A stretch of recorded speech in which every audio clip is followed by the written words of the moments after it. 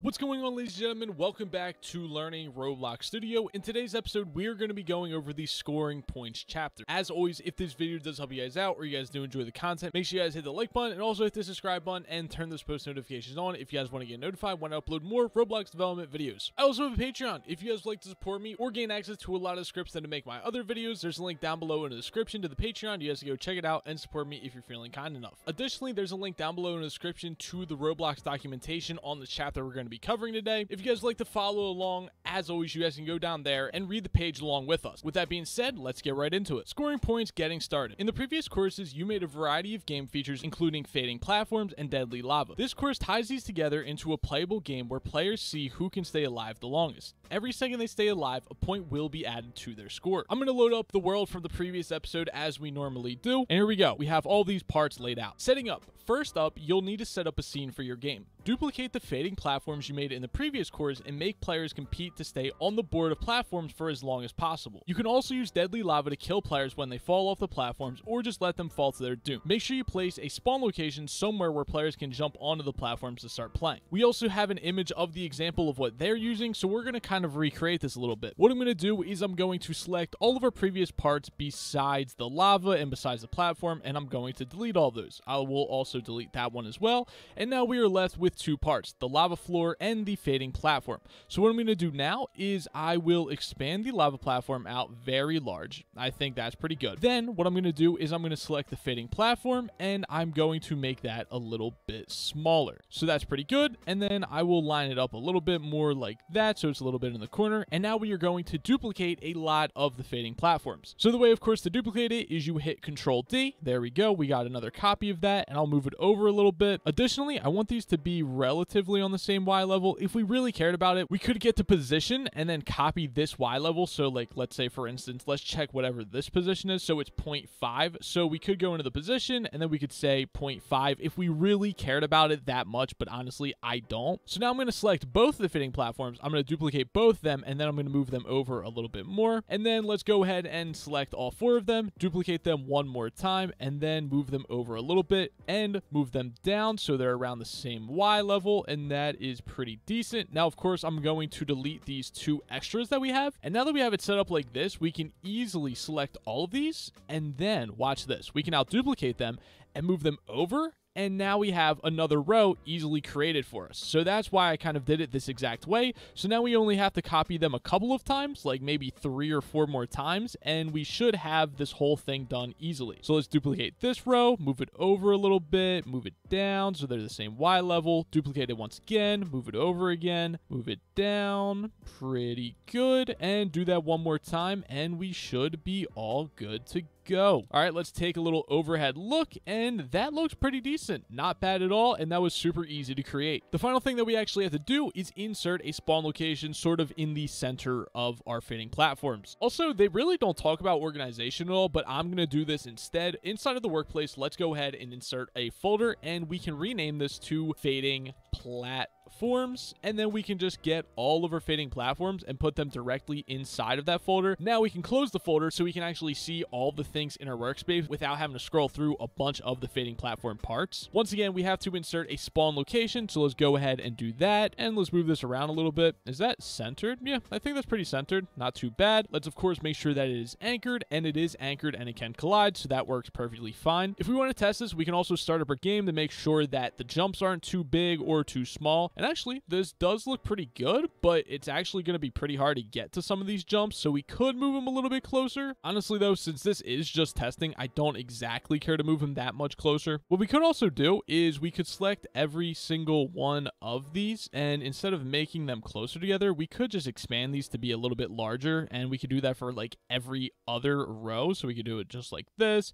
We can make these a little bit larger. Oh, we forgot one right there, so we can make those a little bit larger, and that should fill in the gaps and make it so people people could actually jump on them. I would probably move them a little bit closer if I actually cared about this, but of course this is just for learning, so it really doesn't matter. I think the layout's good enough. It's definitely good enough to kind of go through this course with and test out all the stuff that we're going to be creating. Next up is player points. Roblox has a built-in leaderboard for showing player stats. When you set a player's points through the leaderboard, it'll show up on the right side of the screen in the game. You'll learn more customizable ways to display information in later courses, but the leaderboard is the simplest way of making a visible scoring system in Roblox. It's best to put scripts which set up a game state into the server script service. Scripts placed there will automatically run when the game starts. So let's go into server script service, which is right down here, right above server storage, and let's click the plus icon and of course insert a brand new script. And we're going to name this script setup points. As always, we're going to delete the print statement that's inside of here as well. So now, listening for players. In Roblox, a service is an object which performs a range of useful functions. The player service has an event called player added that you can use to set up points for each player who joins the game. You can access services with the get service function in the game object. Game is a variable accessible from anywhere which contains everything in your game. Okay, that was probably so confusing. Don't worry, I don't know why they worded it out like that. Let's just kind of go through this demonstration and you guys probably will be able to comprehend it by the end of this. So we're going to create a variable inside of our script and that's going to be players. Now, this variable is going to be a little bit different than all the other ones that we have created before. And we're actually going to make the first letter of this variable capitalized. So we're going to name it players and we're going to set the value of that to game,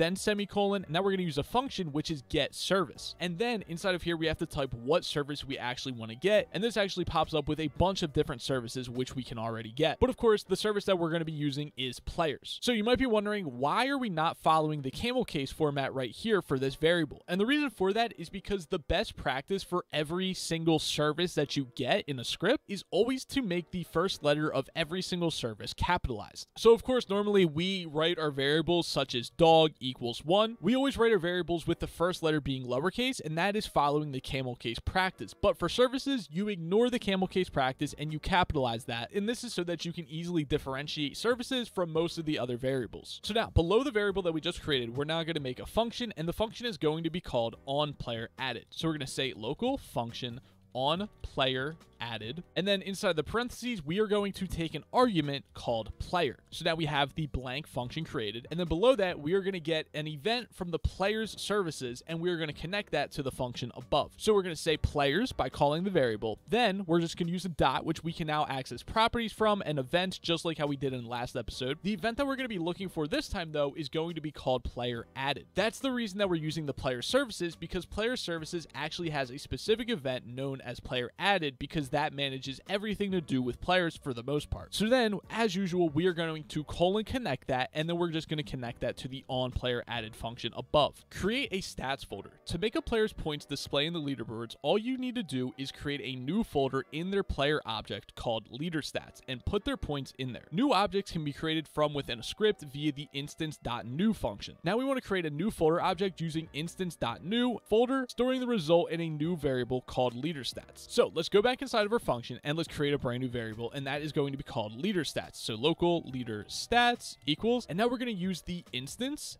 dot new, which is a function, and then we're going to put quotation marks, and now we have a lot of different things which we can actually create a brand new instance of, but we are going to create a brand new instance of a folder. So now we have a folder as the value of a variable, and the name of the variable is leader stats. And of course, if we use if we type in leader stats and then a period, we can now access properties of this variable, which is a folder. So a folder has a property of the name, and we actually want to set the name of the folder to leader stats in all lowercase. Make sure this is actually one thing that's really important. Make sure you spell leader stats the exact same way that I do or they do on their documentation, and make sure that it is all lowercase. Otherwise, you're going to run into issues, and this will not work. So if you're a little bit confused this, imagine this. You're on your desktop, on your computer, and you create a brand new folder. That is what instance.new is doing. We're creating a brand new folder, and we're not doing anything to it, but we we are setting that folder to a variable so we can then access it and use some of the properties and work with that folder later. So now we want to actually set the name of that specific folder on your computer. The name that we're going to set that folder to is leader stats. So imagine you're just renaming any ordinary folder on your computer. That works perfectly. The next thing we want to do is we want to also do leader stats once again. And this time we want to set the parent property to the player. So remember, when we call this function, we're accepting a player as one of our arguments. And then we're going to use that down here so that we can set the parent of that folder to the player, meaning that the player will now own this specific folder. If you're a little bit confused by this, one way to look at this, imagine you create a folder on your computer, you named it leader stats, and now you want to move the folder from your desktop folder to your documents folder. If we want to move it to our documents folder, we would set the parent to documents. And that's exactly sort of what you're doing here. Of course, rather than setting it to documents, you're putting the folder inside of the player and the player then owns the folder, but hopefully that explanation simplifies it and makes it a lot easier to understand. Points value. The leaderboard system reads any value in the leader stats folder and displays whatever it finds. To add a stat which will track a player's points, a new int value object can be parented to the leader stats folder. The name of the value object will be displayed alongside its current value. Now what we're going to do, go back inside the function and underneath when we set the parent, we are going to create a new variable and this variable is going to be called points. So we're going to say local points equals, and once again, we are going to do instance.new, and this time we are going to create an int value object. We can now access this object property, so we're going to say points.name equals, we can name it whatever we want, but let's go ahead and just name it points for this example.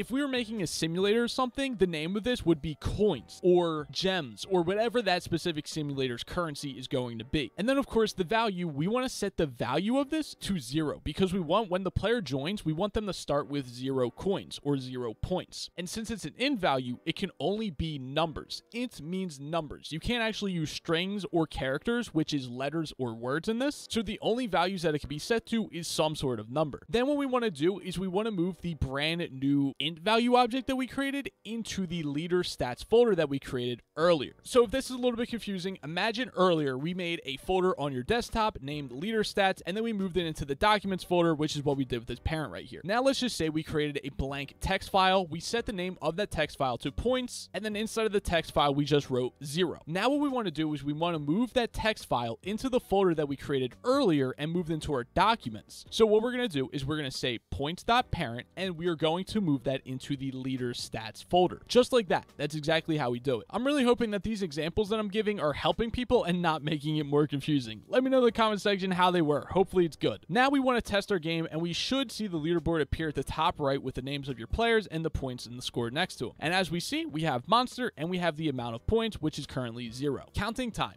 Each player should earn a point for every second they are alive. A while loop and the wait function can be used to update the value of points every second. So at the end of our script, we are going to create a while loop. Of course, we're going to make an infinite while loop, so we're just going to say while true do. And remember what I told you in the last episodes, always make sure that you have a task.wait function inside of your while loop, or you're most likely going to crash your studio. So we're just going to wait for one second, and that's exactly what we want to do. Player list. To run code for every player in the game, you'll need to iterate through the array of players returned by the get players function. That might be a little confusing. What that means is that just means that you'll need to go through every single player that's in the game. And the way that we're going to get all those players is by using a get players function, which will return an array. And then we're going to go through that entire array. An array is a list of items stored in order. Each item can be accessed by its index position starting from one. You can get the length of an array by prefixing it with hashtag. Let's go ahead and create a new variable. And this is going to be named player list we're going to use the players variable that we made earlier, and then we're going to use a function from the players, and that's going to be called get players. And what that's going to do is it's going to return a table of all presently connected player objects. Then what we want to do is we want to create a for loop. So we're going to say for, the variable that we're going to use this time is current player, and we're going to set that to one because the index position begins at one. And then the for loop, we don't want to end until we go through the entire list. So how do we figure out how many players are connected to the server? Well, we use the hashtag, and then we use the player list, and that will actually figure out how many players are in the game, and that is where the loop will end. So let's say, for instance, 10 players are in the game. That's equivalent to just writing 10 right here.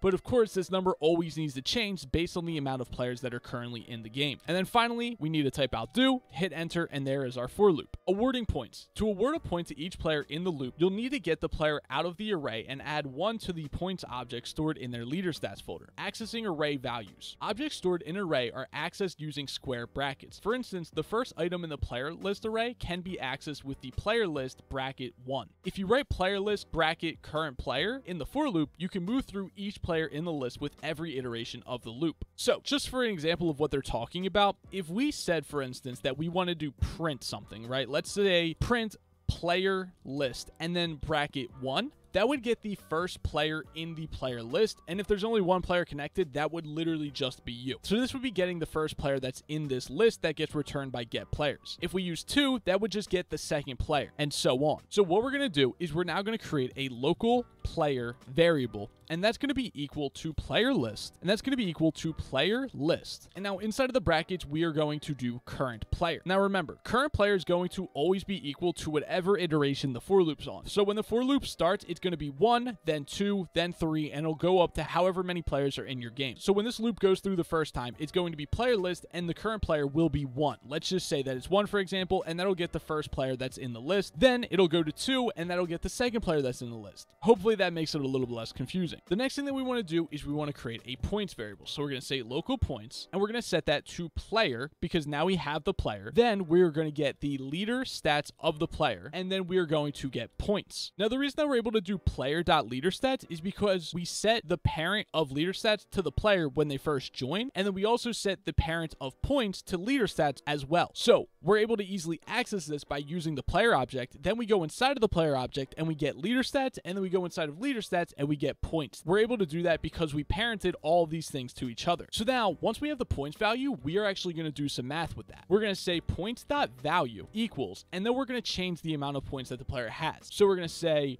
points.value plus 1. So that'll take the current amount of points that the player has, for example 0, and then add 1 to it. So 0 plus 1 equals 1, and that'll change the player's points to 1, then it'll keep adding 1 to it every single time. Let's go ahead and test our game and see if that works as it should. So we see 1, 2, 3, 4, 5, that works perfectly. Awesome. Listening for characters. The goal of the game is to see who can stay alive the longest, so players who die will need to have their points reset to 0. You'll need to get the character model for the player in order to detect when they have died. This model is only added to the game after the player object has been loaded, and you can use the character added event to listen for when the character is ready to use. Little bit confusing, don't worry. What we're going to do is above our on player added function, we are going to create a brand new function called on character added. So we're going to say local function on character added, we're going to accept the character and the player as an argument. Although we included player in the on character added functions parameters, the actual character added event only returns the character, not the associated player. Okay, I'm not going to lie, they are getting really confusing and really in depth with these tutorials. This should be a little bit more advanced, especially the explanation that they're giving. This is probably going to confuse a lot of beginners, but just hold on and keep going with me. To pass the player object as well, use an anonymous function for the event connection. You guys will have absolutely no idea what an anonymous function is, and like I said, I don't even know why they're going this in depth with this right now. They should have made this a lot simpler, but let's just go with it. Underneath points.leaderStats inside of the on player added function, we are going to say player